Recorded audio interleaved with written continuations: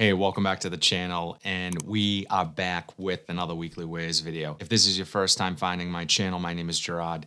We talk about fragrances here, and today's video is just me talking about every single fragrance that I wore for the entire seven days prior. So if that is content that you think you want to see more of, be sure to like this video, subscribe to the channel, and turn on bell notifications so you get updated whenever I upload something new. feel like I had a really solid week of choices of fragrances, so I'm going to talk about each one, tell you guys what I think of them and why I wore it. So, also, I want to thank everyone for all the love, the support that you guys have poured into this channel over the last two years. The growth has been not what I was expecting. I am so appreciative of it. You guys are the best. All my subscribers, uh, anyone who's not subscribed yet but keeps coming back to watch, thank you so much.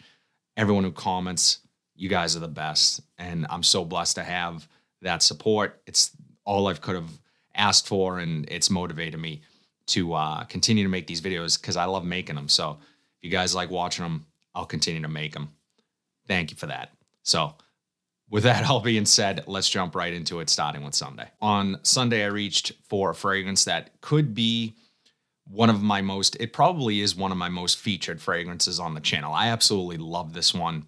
I talk about it a lot, and for good reason. Scent I'm talking about is Missoni Parfum Pour Homme. And this is a cheaper alternative to something like a Bleu de Chanel, but I prefer this one. And I've said that a lot of times on the channel.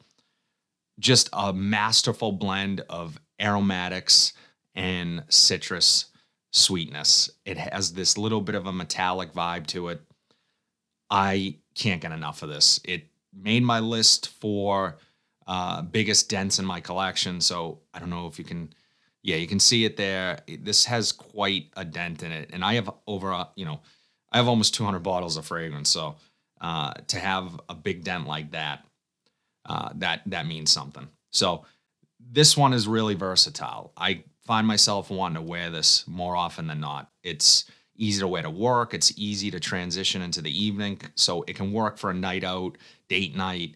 This is the true definition of a modern signature scent, in my opinion. On top of that, this gets great performance, lasts a long time, great projection, compliment factor is there. I usually get a compliment when I'm wearing this. So just really easy. It's going to work every season. Uh, jack of all trades. And really nice presentation. You got the magnetic cap.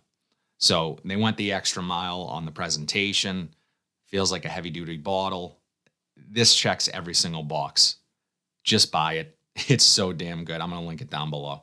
Missoni Parfum Homme. On Monday, I reached for a scent. It was a little cooler that day in the Boston area, and I wanted to wear something warm, spicy, with some freshness.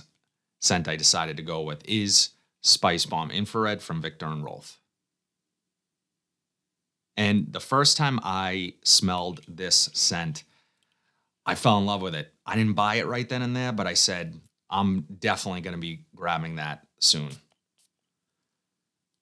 Warm, spicy cinnamon with this ribbon of freshness running through it. And some people compare this to like Big Red Gum. If you've ever smelled Big Red Gum, uh, I can see that. It, it definitely has that vibe to it. Also, if this makes any sense, the bottle is red, the presentation, the whole thing is red, and it smells like it would be the color red. And that's just association, you know, as you said, as I said, big red gum and cinnamon and those things, uh, hot red candies, all of it has this really nice, well balanced sweetness. I think this is a versatile amber spicy scent because of that freshness. So it has just the right amount of freshness to it to be able to be worn during the day and in more situations than one might expect. I think a lot of people consider this a night out scent. Yes, it can be used for that, but I'm into versatile fragrances. I like things that if you kind of own just one, it's going to have you covered for every situation. I have a lot of those. This is one of those. So, especially in the cooler months, it's going to be easy to wear to work. You can definitely pull it off there, and it's going to take you into the evening as well. So incredible stuff, really good performance. This one I go back and forth with for my favorite in the house.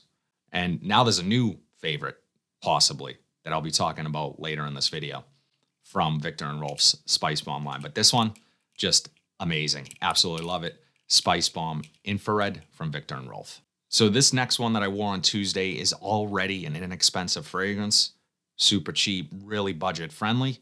Somehow I even managed to pay less than that. I, I want to say I grabbed this for like 10 bucks at a Marshall's at the time. So these do pop up, but I haven't seen one since. And that was a couple years back. Scent I'm talking about is Azzaro Pour Homme Nighttime. So this is one of the lesser talked about Azzaro uh, Homme flankers, but I think it's one of the best, at least from the ones I've tried. Not the best atomizer. Has this shave foam feel to it, a little bit metallic, uh, clean smelling. But what really stands out here that modernizes this already uh, kind of vintage feeling, aromatic uh, shave foam type scent is the rhubarb. The rhubarb adds this fruity earthiness that is really authentic and it smell it's right up front. It's the first thing I pick out when I spray this. And that settles down as it dries down and it becomes more of that no, you know, you don't have to think about it fresh out of the barbershop type scent. But that rhubarb in the in the opening really sets this one apart. It modernizes it. It makes it feel uh, more for current day uh, gentlemen. I actually get really good performance from this as well. It's one of those ones that I don't mind spraying a little bit heavier. It is inexpensive, but one that is a sleeper, in my opinion. Doesn't get talked about enough. Absolutely amazing stuff, especially for the price, performance. As I said, I wear it heavy so it lasts me all day. This is an ideal uh, office scent. Uh, I don't know how my wife really feels about this one. I've had her smell it before, and it's not that she dislikes it; it's just not one that really stands out to her. But uh, for me, super masculine and really easy to wear. Azzaro Pour Homme Nighttime. So this next one was one of two fragrances that I picked up in my last rack store haul. So if you guys have not checked out that video, be sure to do so. I will link it here. Scent I'm talking about is Dunhill Edition. And this is a scent from 1984, and it doesn't smell like it has changed a bit. I haven't smelled the original, but this smells like it's from 1984. And that's not necessarily a bad thing. It's just not going to be for everyone. There's just nothing modern about this scent. And the nutmeg, the oak moss, the citrus are what really stand out here. And eh, although there's a million notes, in typical 80s style fragrance fashion. There's a million notes, but only a few stand out, at least to my nose. And that that's that. Uh, the oak moss here really makes this smell dated, especially how it's used here. It's really heavy handed.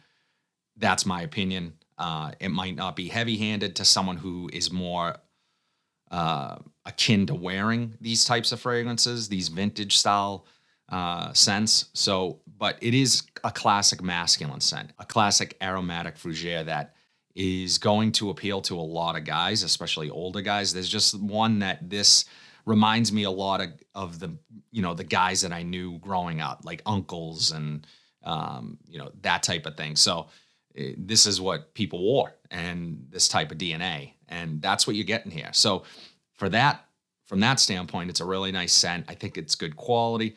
This is probably not one that I'm personally going to reach for that often. It's just not my thing right now. It's just not what I'm sort of into in terms of fragrance style, but I can understand why someone would really enjoy this one. Uh, in terms of performance, I got pretty good performance. It lasted pretty much a full work day for me, um, although it sat much closer to the skin uh, after an hour or so. So performance is nothing spectacular, but you're still going to smell good and you're still going to be able to pick it up, you know, six or seven hours later. So, not a bad scent and pretty inexpensive. I paid 20 bucks for the 100 ml Dunhill edition. This next one, whenever I wear it, my wife compliments me on it, asks me what I'm wearing. She loves this stuff and she loves it on me. Scent I am talking about is Santal 33 from Le Labo. Now, if you went on Fragrantica and you look this uh, fragrance up. In my opinion, it is underrated, um, but it's really popular and it, and it kind of it reached its uh, pinnacle or apex of popularity over the last couple of years because a lot of my friends in New York, people that I know, they'll say that everyone in New York wears this scent. Um, you walk into a hotel lobby and it smells like this. Uh, it has this really tangy, woody vibe to it, which I personally love. It's unique, it's different. There have been copycats to this because of its popularity. Obviously, other fragrances have tried to copy it. Yes, sandalwood is there, but I think the unsung note here is the cardamom. Adds this fruity, spicy tanginess to the scent overall. And I personally really enjoy that piece of that. I know a lot of people say, oh, it reminds them of like pickle juice. I don't get that at all. I don't get the pickle juice comparison, but I can understand why uh, that sort of, uh, you know, not metallic, but that tanginess uh, could remind them of something like that, I guess, if you thought hard enough about it while smelling it. Personally, I think this is just a beautiful fragrance and one of the best sillages of any scent I own or have smelled for that matter. It just leaves this really intoxicating scent trail, will get you attention. And I think that's how this one really was meant to be experienced. It's not one of those fragrances that you're going to want to spray on yourself and sniff up close. It's better in its sillage and just its scent in general. Absolutely love this one. And performance, outstanding. Everything I've tried from Le Labo. Uh, I, I own Thé Noir as well, 29. I love that scent. That it has also incredible lasting power, incredible projection. So this outperforms most fragrances in my collection, and I love it. Santal 33 from Le Labo. This is the other fragrance that I was able to pick up in my last rack store haul, and also the other contender for my favorite in this particular line scent I'm talking about is the original Spice Bomb from Viktor and Rolf warm, spicy, fresh, and sweet. Man, that seems to be what I'm gravitating towards lately. Really nice atomizer. And this is, man, just something about this one is just, it really is probably the most well balanced, versatile of the line, aside from something like a night vision, which I know a lot of people didn't like. I personally don't think it's a bad scent. Uh, it's a little generic. I like this. I, I much prefer this. But if I'm looking at the two most well balanced fragrances in the line and versatile, it's this and Night Vision. But I'm going to choose this one over Night Vision because I think this one doesn't get talked about quite a bit, uh, quite enough. And I, I just love it. I didn't realize I didn't have this in the collection. I had smelled it a while back and it reminded me too much of Bulgari Man in Black which I also own, which I also love. However, this doesn't have that dominating leather note that that has. And I like that about this. It makes it feel like it's not redundant. And this is one that I'm probably to wear quite often. I'm going back and forth now between this infrared and extreme. But I think the other two are more have a more seasonal designation to them, even though the infrared, I think you can be, wear that more often than than the extreme for sure. This one is definitely the most versatile and lasting lasting power all day. Great projection, great performance. Really enjoy this one and happy to have added to the collection. Spice Bomb from Viktor and Rolf. I get a shout out my friend Benjamin for sending this my way because I wouldn't have a bottle, especially from this particular formulation, the 2015 uh, formulation of the scent was when also when, when it was released, I want to say. Uh, and I just, I, guys, this next one I have a special place for. Scent I'm talking about is CH Men Privé from Carolina Herrera. And I really try to conserve this stuff, so I will not be spraying it to show you the atomizer. But this is a boozy, woody, smoky, masculine, the best kind of masculine fragrance, in my opinion. Has a little bit of leather. That booziness is really prominent on my skin, but it just it it ties all together. It's a little bit vanillic. Man, this stuff is just amazing. I want to wear this more often than not, but I find this to be a really ideal night out with your your buddies type scent. And that's how I wore it on Saturday. I went to grab dinner with a friend. Um, we just went to a local restaurant, sat at the bar, had dinner, and a couple drinks, and it's perfect for that. I wore a hoodie, uh, nice jeans, some boots, and this one is gonna elevate the entire look. And I know that you can still get your hands on this, and I know that performance is an issue for some people, but this one I can't speak to current day performance because this one performs so well on me, and that is the criticism is that the original formulations, the 2015, 2016, uh, are just much better performers. I don't know that to be the case because I haven't tried uh, a new one. But if it's being said, I have to sort of take it for face value and trust that that's the case. But still, I would say that this is an incredible fragrance. An alternative to this would be Cremo's Bourbon and Oak, which I also own, which is super inexpensive. I will also link that scent down below. Along if, if I can't find this one, I will link that down below because I think they smell really close to one another, and that one's super cheap. So, uh, and I know there's also some offerings from some clone houses, but the only one I've tried is the bourbon and oak from Cremo, and I I really like that scent. Overall, just an amazing fragrance, super classy while still being masculine and have some edge to it. And I I wouldn't change a thing about this scent, not one thing. Love it. CH Men Privé from Carolina Herrera. That's all I have today, guys. As always, I would love to know what your weekly rotation was. Drop it in the comment section down below. Let's see what you guys wore last week. If you like what you saw today, please be sure to like, comment, subscribe, share this video. Hit that bell notification so you are updated whenever I upload new content. But until then, have a fantastic week, and I'll see you in the next video.